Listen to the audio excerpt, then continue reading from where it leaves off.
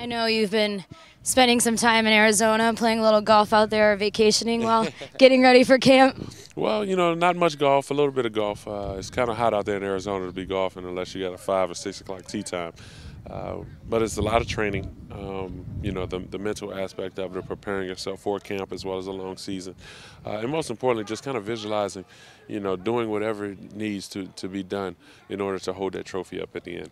I know what the Bears camp is like in Bourbonnais, but what is the Eagles camp like? Are you guys in some dorm rooms like they are? We are in dorm rooms. We're in dorm rooms. Some have uh, three rooms, some have four, and uh, you know that was just recently in the last six years or so, five years that uh, we moved to that. Uh, before we were in the two two bedroom dorms where you can kind of look over and see the guy next to you, um, and you felt like you were in, just in, in jail, locked down.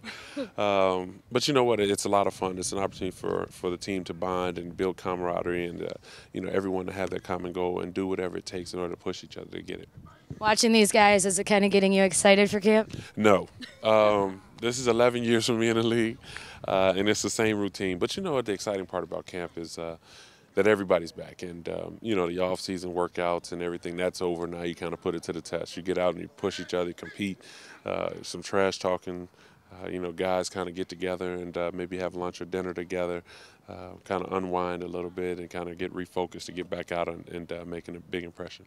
No, you guys reside in the South Side looking forward to that November game against Chicago Bears and Jay Cutler. Uh, someone else asked me about that too. It's from the uh, local media, and, and, I'll say this: I think um, uh, the Bears are a fine organization.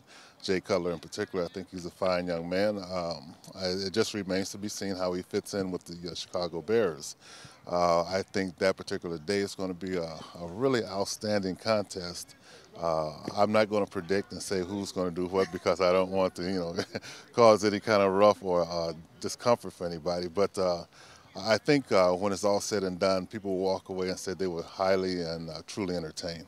Are you a Bears fan? I'm a Bears fan. I'm a Chicago fan. You know, I don't, I don't, this is right. I don't, I don't uh, differentiate between Cubs and White Sox. I love them all. You know, except for when they play Philadelphia. I know Donovan's a competitive guy, so I'm sure he's looking forward to that game as well. Oh, always. I mean, it's a great time for him to come home and uh, to spend time with uh, his friends and, you know, some of the other guys that he knows. And uh, it's just an opportunity for him to, to you know, showcase his skills and let the people know that he still can play football. Now, your father confessed to me that he is still a Bears fan. Are you looking forward to that matchup against Cutler? Um, you know, not just Cutler. And, I, uh, you know, we got some unfinished business from last year. Um, being on the one yard line, not being able to punch it in and win the game, uh, really didn't sit well with me. And um, you know, we we flew in, and you know, my mom and dad cooked, and we had great food, and we weren't able to seal the deal on that uh, that good Sunday night football. And uh, we're looking forward to the rematch, and looking forward to getting back out there and competing with these guys. And uh, you know, I know they're excited about having Cutler and uh, Forte going in the second year, but it's going to be a challenge for both of us, and uh, we look forward to it. Now, you being a vet yourself, what do you think of someone that might possibly have a Packers, Jets, and maybe Vikings jersey? Well, that's a lot of jerseys to have. I mean, you know, um, hey, you know, more power to. But you know what? It, it's the game of football. You want it to be exciting for all, and it's not just uh, watching given players. But you know what? It's just watching your favorite team. Because I grew up a Bears fan until the draft, um, and was hoping that things would happen, but it didn't. But um, you know, and, and, you want to see your team do well. And, um, you know, obviously my team has been the Philadelphia Eagles for the last 10 years and look forward to it for the next five or six years to come.